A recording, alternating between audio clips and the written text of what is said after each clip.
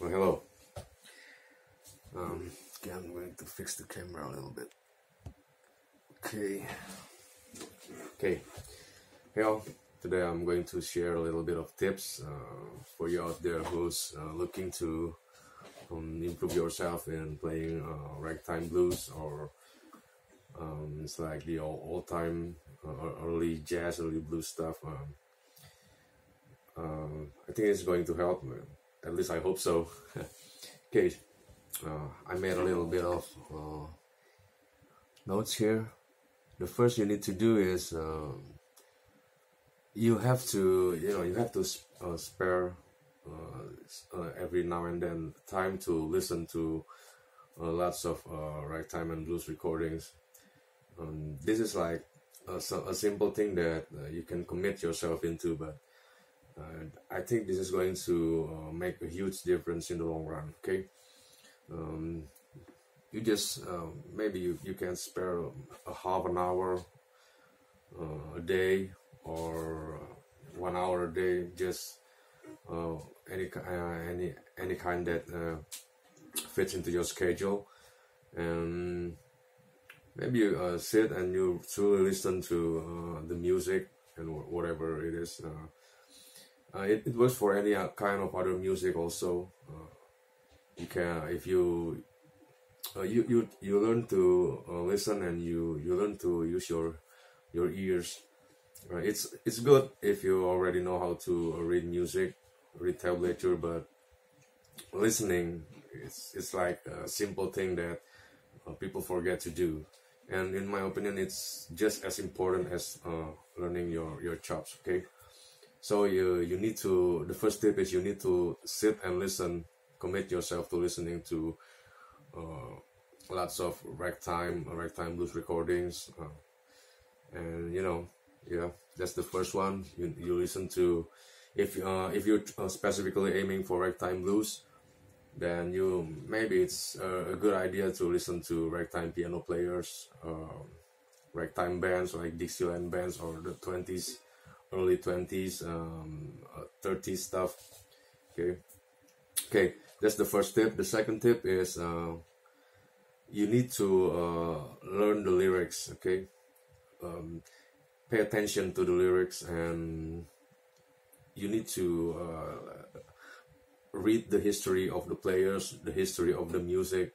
It's going to uh, it's like it's going to enrich your um, your knowledge and I think it's going to improve your playing in a sense because uh, we're talking about culture here and uh, anyways and it's uh, going to pay respects to all those guys who started all. Um, I don't know why but uh, many people missing this uh, many uh, many people just you know just skip this part and uh, thinking that oh history is you know this is not important or it's not going to make um, a difference in your playing but trust me man it works. And um, you need to uh, uh, any kind of literature you can find.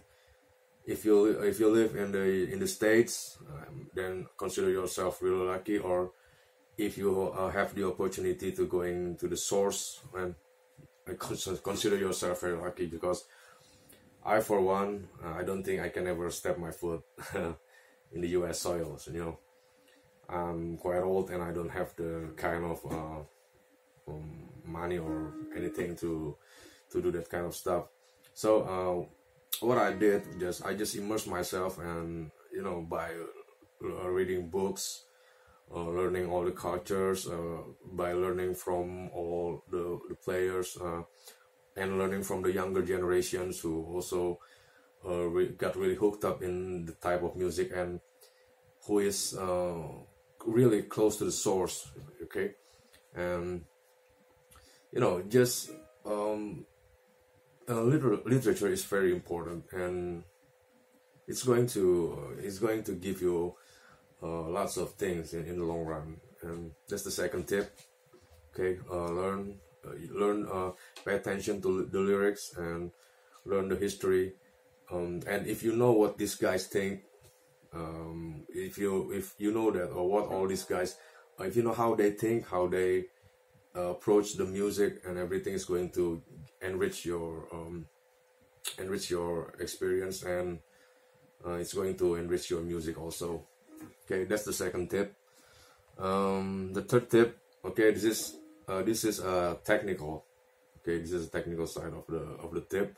I think this is the only technical uh, side of, uh, of of the tip okay? It's like oh when you um, if you're already familiar with um, uh, basic basic uh, ragtime blues then maybe you can uh, think like uh, I'm, uh, I think it's a good idea to you know this, this kind of concept is simple but it's just uh, maybe just I, I had a very thick skull so you know just it really need a long time to get through my head to this brain of mine okay so um, it's like when you play a C uh, you it's good if you can uh, learn all the positions across the fretboard like uh, all, almost all ragtime players use this kind of C, you know. This is C7, and you can play it here. Okay, there are all kind of stuff, and this is a little bit new. I think it's this is um, you can play it like this. Uh, this is C7, but I kind of I kind of found this uh, recently. I, I don't know, but once again, I had a really thick skull, so yeah. This is a C7, but it's like I'm taking that uh, the the very high string, so it gives a little bit of uh, sound of a nice tone. Okay, at least in my in my opinion, and uh, learn that for any uh, for the other chords as well. It's like when you play A, you can play this one, and you can play it um where is it oh like this you can play it like this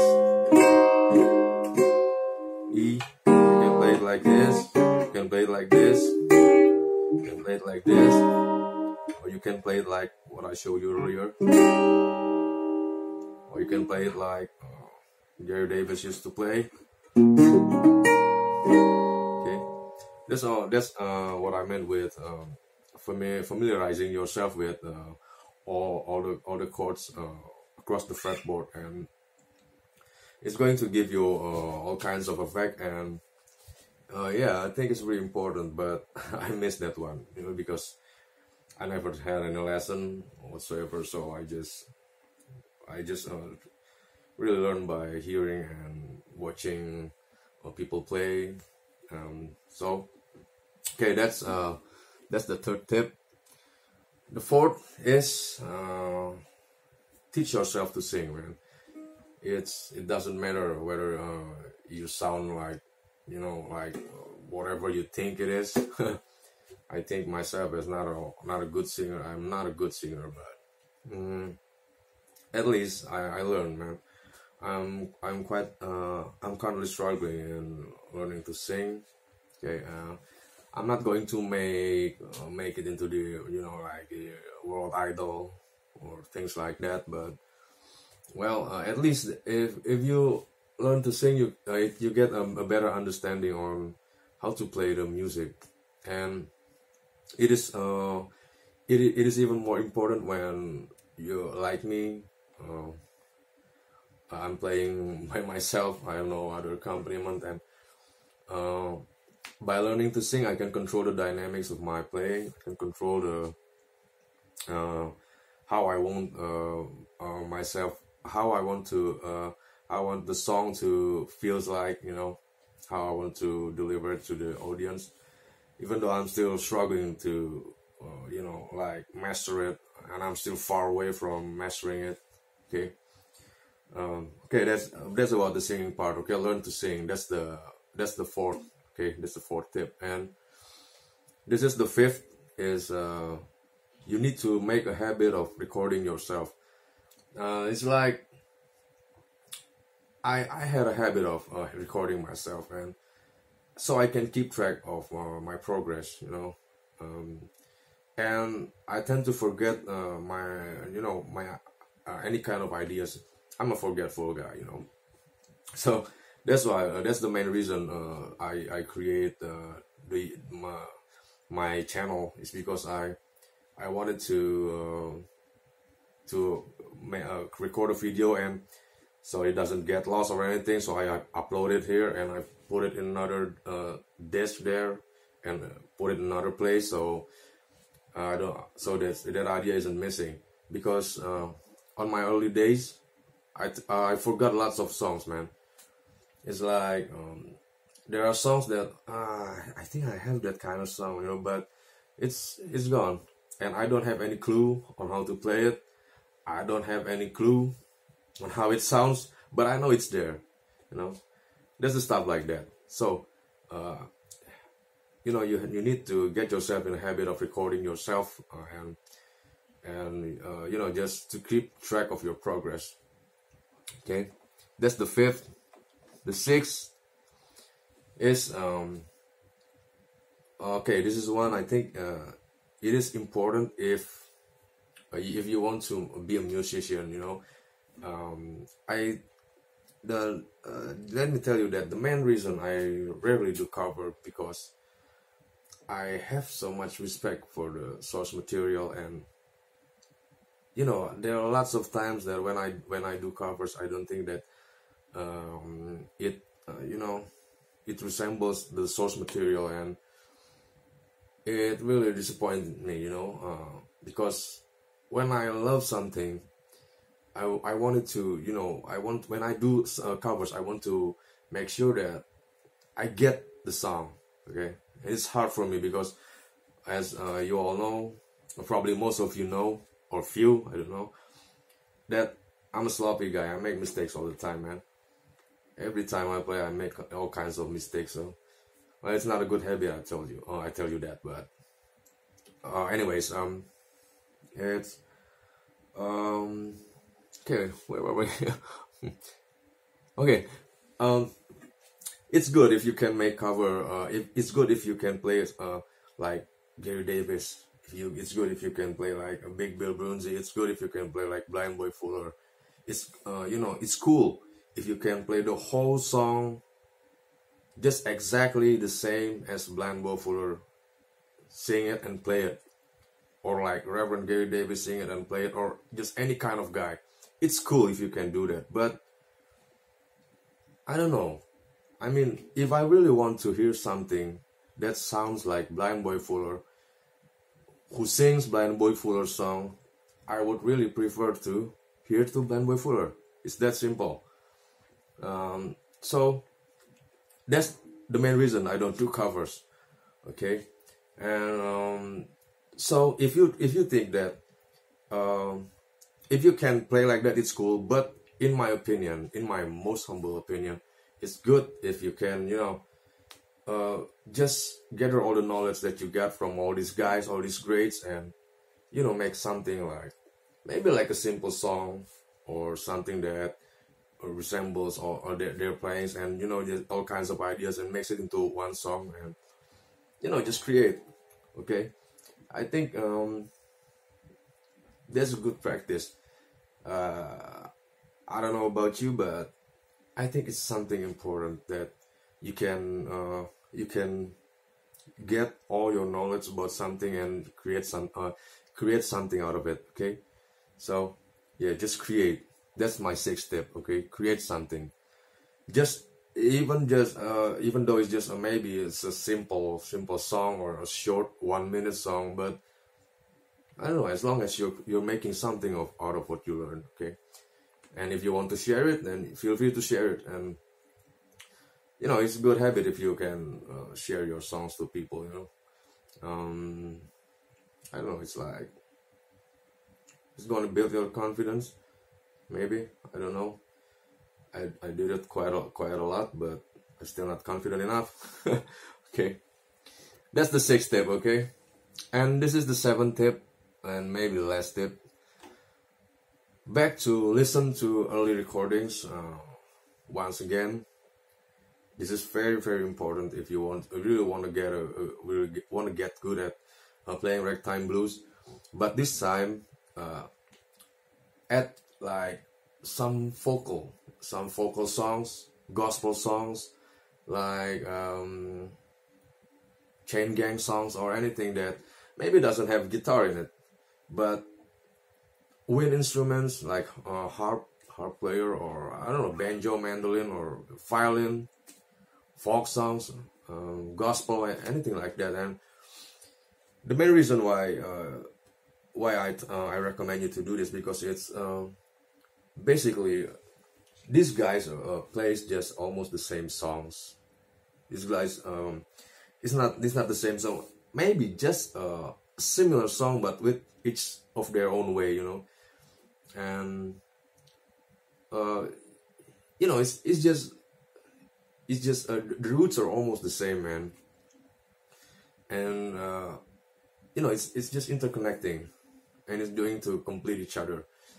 Okay, if you're done with the seventh step, uh, I, what I meant by uh, listen to uh, all the harp, or maybe like um, anything that doesn't have any guitar in it. Maybe it's not interesting for you, okay, at the time, but still give it a listen, you know. Okay, that's about the seventh tip, and in my notes, that's about it. Um, if you, you know, if you're a beginner, uh, if you're a beginner, okay, and I'm a, I'm a beginner. Um, I always consider myself as a beginner. So, uh, if you do this, um, you know, just record yourself right now, and you can commit yourself to doing all this, uh, all these tips, and just uh, go go record yourself. Uh, maybe a year from now, or maybe six months, and I don't know. You just tell me uh, whether you, you you improve or not. Okay, because I really think that uh, you're going to improve. Uh, it's like everything that's good uh, needs uh, all kinds of disciplines. Okay, you need to uh, you need to invest uh, some time, and these these are the kind of times that uh, these these are the kind of things that I will really uh, invest my time into. You know, I, I want to be really good. Okay, okay, I think that's about it. Um, well, it's been it's been quite a long time since I wanted to make a video like this, and I think that I need to speak a little bit more because uh, I I really think that my, my English needs uh, some all kinds of improvements. Okay, I feel like oh well too much man. Okay, I think that's about it, and the battery is running low. So thank you. I hope this has helped. Okay, bye. Bye again.